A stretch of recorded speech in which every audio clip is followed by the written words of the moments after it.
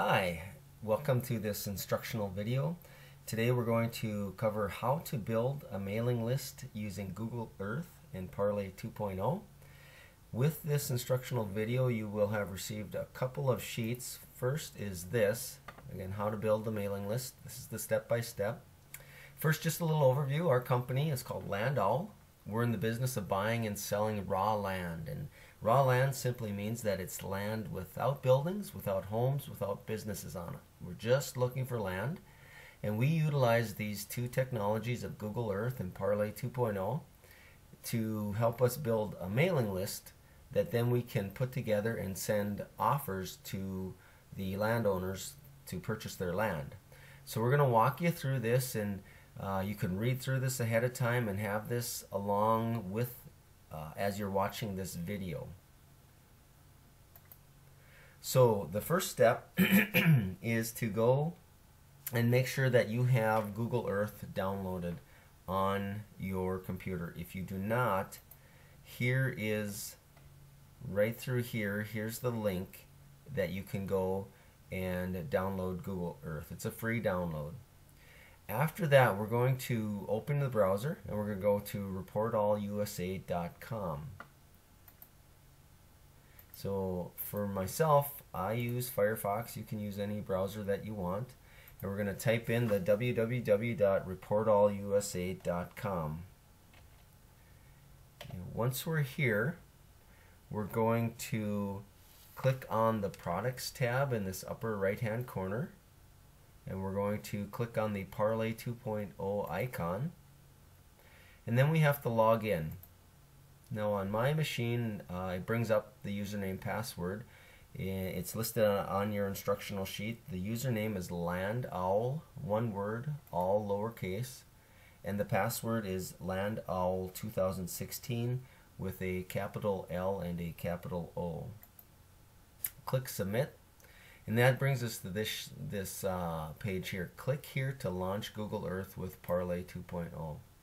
Now it should default to opening it with Google Earth. If not, you'll have to um, select that default. Default, excuse me. And then that'll bring us into Google Earth. Now, for me, since I've been here before, it automatically has my starting point set. So um, if you're not familiar with Google Earth, you'll need to play around with it a little bit. If we scroll out here, we'll see that here is the, the United States, uh, Florida, California, good old Minnesota's up here. That's where I'm from. And our company is working at buying and selling land in this area here of Colorado.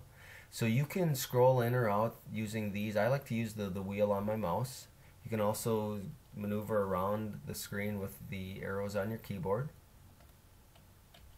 So if we come in here and I have push pins marked on somewhat of a rectangular uh, square area here. These are GPS coordinates and you will have received this Excel spreadsheet to go with the training. Now, the upper left, lower left, upper right, lower right push pin or latitude, longitude, those GPS coordinates are listed here. And you'll have to utilize these into Google Earth. To do so is easy to do. When you look at this search bar up here, you can simply cut and paste or copy and paste these into the search bar. And where did my sheet go? And that will take you to that location. And now one thing you want to do when you when you put these no space you can just put them right next to each other and click search. And that'll take you right into that GPS spot. So it's going to zoom us right into there now with Google Earth, it's using Google Earth in conjunction with Parlay 2.0, which is parcel layover. And that simply means that it gives us these blue lines, and these are the property boundaries. Now these uh, are the, the people that we are going to mail an offer to purchase their land. And in order to do so, we need to collect the information on the owner, who's owning it, and their address that we can mail to. Now, if you scroll out, you'll see at some point those blue lines go away. So you'll want to kind of scroll in right up to the point where you get that little housing icon. And we're going to work back and forth across the screen in those quadrants of the push pins. So for example, if I click on this blue icon, it gives me the parcel ID number. So here's where we're getting into the nuts and bolts of what we want you to do. So a good way to do this is to minimize your Google Earth and put that across from your Excel spreadsheet because there's two things from Google Earth that we're going to gather into this spreadsheet and then the next training video will walk you through how to gather the rest of the address information so we can develop a mailing list. So as we come in here, we want to again just scroll in, zoom in up to the point where we see the icon. Now we're going to work left to right, back and forth, collecting the data from here. So here I want two things, please. This parcel ID number. So it's, um, let's see, that's not what I wanted. Uh, I want to get back to Google Earth here. Okay. I'm going to close that out and we're going to get over to our screen. So here I'm going to copy in that number 715 61870 715 61870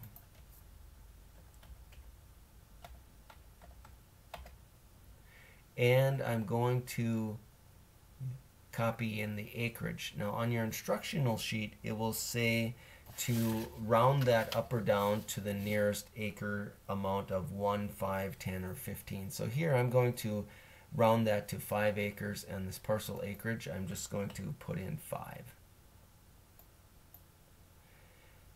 That's what I want to record off of that one and then I would move to the next one take the parcel ID and the acreage size, even 6.8A, we're going to round that down to 5 because that is closer to 5 acres than 10.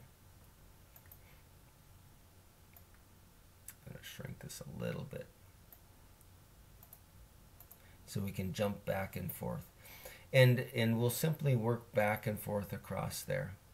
Now, one thing that I'd like to cover the first time that we opened up Google Earth, I'm going to close these down here. And we came in and we, at the start of the video, we had you open up your browser and then we went to the Report All USA Okay. But you only need to do that the first time. On subsequent times, when you uh, go into Google Earth to gather information, what you'll want to do is simply open up your Google Earth because it'll leave that Parlay 2.0 on. That parcel um, mapping will continue to be there each time.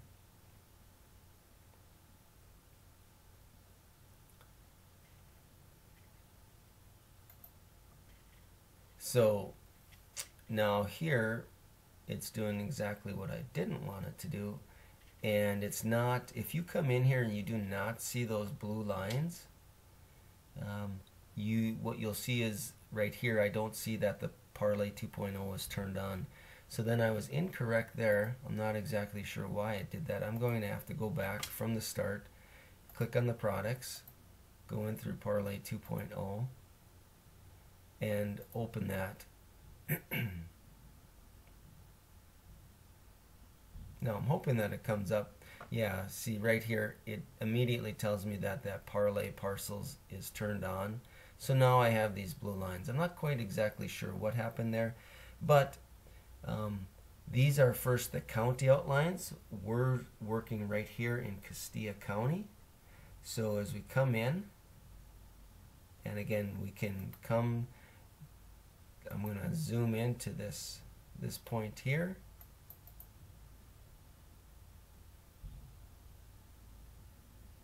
And it should give me my parcel lines for that property. If I click on that, I then have my parcel ID and I have my acreage size. That's what I'm looking for. If I kind of shrink that down to give me half the screen size and open up my spreadsheet, I can then start to collect. I'd like this to, to go half and half with me. All right, so that is the first step as far as collecting information in order to build a mailing list. Next video will be on how to gather the rest of this information.